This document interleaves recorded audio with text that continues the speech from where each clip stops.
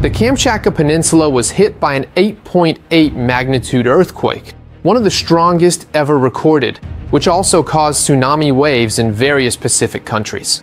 At the moment, fortunately, no fatalities have been reported, but many people have been injured. But what exactly happened?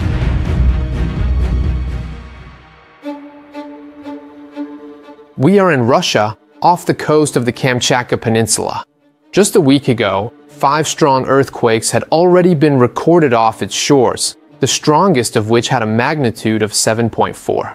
In that case, however, no significant damage was reported and the tsunami warning was lifted shortly thereafter. Today, however, at 11:24 a.m. local time, a violent earthquake with a magnitude of 8.8 struck about 136 kilometers from the coast and at a depth of just 20.7 kilometers. I say just because 20 kilometers might seem like a lot, but actually, keep in mind that there are earthquakes that occur hundreds and hundreds of kilometers deep. And what's the point? When earthquakes are this shallow, the rock isn't able to absorb all their energy, so they're felt quite strongly even at the surface. In fact, in Kamchatka, the earthquake caused significant damage to buildings. Among these was even a nursery school which collapsed shortly after the first tremor. According to Russian authorities, there are numerous injured, although at the time we're recording this content, the total number of people involved is still unclear.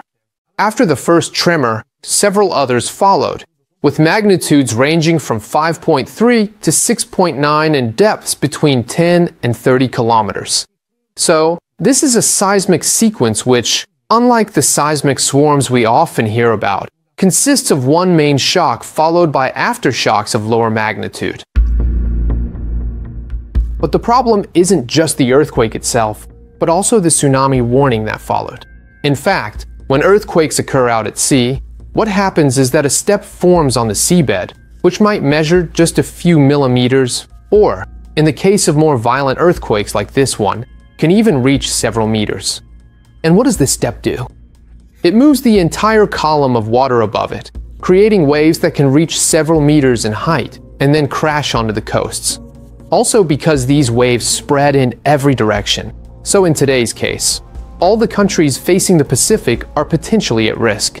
In many cases, it must be said, the tsunami warning is issued and then withdrawn after a few hours, fortunately. But in this case, the waves have already hit some countries like Russia, Japan, and the United States, obviously with varying heights. Just think, the tsunami waves started to arrive right after the quake, mainly hitting the district of Severokurilsk at the southern tip of the Kamchatka Peninsula. Here, just this morning, a wave about 5 meters high was recorded. A state of emergency was declared in the district after the water also damaged several industrial infrastructures. For this very reason, the 2,500 residents were immediately evacuated. Several waves of 3 to 4 meters were also recorded in the Elizovsky district, still in Kamchatka. As mentioned, the tsunami risk isn't limited to Russia. In fact, tsunami waves also reached Hawaii this morning. From Ihua, on Oahu's northern coast, waves of about 1.5 meters were recorded. In Japan, on the other hand, Evacuation orders were sent to more than 1.9 million people in 21 different prefectures. The first tsunami waves are already hitting many parts of the eastern coast, from the northernmost island, Hokkaido, all the way to the main island of Honshu, even near the Tokyo metropolitan area. For now, however, the waves measure up to 60 centimeters, so well below the 3 meters initially forecast. The tsunami warning has therefore been issued for the entire Pacific area from the island of Guam to Alaska, Ecuador, and the entire American West Coast. Alright, we've given an overview of what happened. At this point, it's important to understand what caused this earthquake geologically. To do that, let's go to the board. What you see here is a map created by the USGS, which is the United States agency responsible for monitoring earthquakes not only in the US, but around the world. Specifically, we can see that there are a lot of dots. These represent all the earthquakes that have occurred in the area over the past few decades. This, just to be clear, is the Kamchatka Peninsula we're talking about. The darker colored dots indicate the deeper earthquakes, like these ones, while the lighter colored ones show the more shallow earthquakes. What also changes is the size of the dot. So, The bigger these dots are, the higher the magnitude associated with that specific earthquake. In fact, if we look, all these large dots have very high magnitude values. See 8.1, 8.3, 8.1, and so on. And today's is here, where there's this red star, which is the 8.71, actually 8.8, since it was updated, of 2025. If we look even more closely, all these earthquakes aren't arranged randomly, but are located along this black line. So this one, what is this line?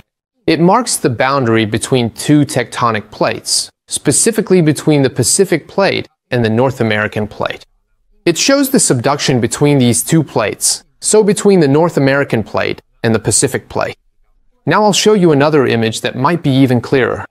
This is a hypothetical cross-section of subduction.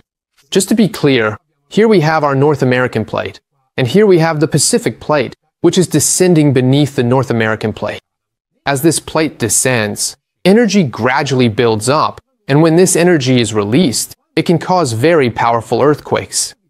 The more energy that accumulates, the more violent the earthquake will be. Also, when this plate descends, what does it do? It heats up. The deeper it goes, temperatures rise, causing partial melting. So the molten material tends to rise back up, and this also gives rise to volcanoes.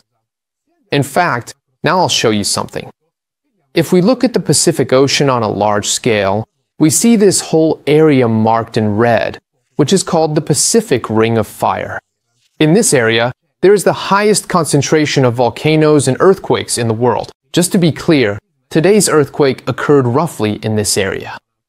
But what's interesting is that if we look at the five strongest earthquakes in history, we'll notice that they're all in this belt. Let me show you. Here they are.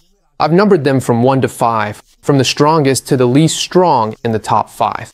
We've got one in South America, one in Alaska, here in Southeast Asia, again in Japan, and then in Kamchatka. So these are the five strongest recorded earthquakes in history, and they're all located along the Pacific Ring of Fire. Careful! Before wrapping up, I want to make one thing clear. Today's earthquake is not connected to other earthquakes in other parts of the world. Let me explain better. Earthquakes are natural events, and the fact that such a violent earthquake occurred in Russia has nothing to do, for example, with the earthquakes that have hit Guatemala in recent hours. Similarly, if there were to be a tremor in Europe or Italy in the coming days, it wouldn't be connected to the one in Kamchatka. I want to make this clear because, often online, someone suggests connections between earthquakes in areas that are even thousands of kilometers apart.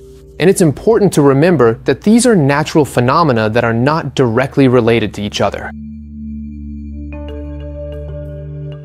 Alright guys, thanks for sticking with me up to this point. We'll see each other again in the next video,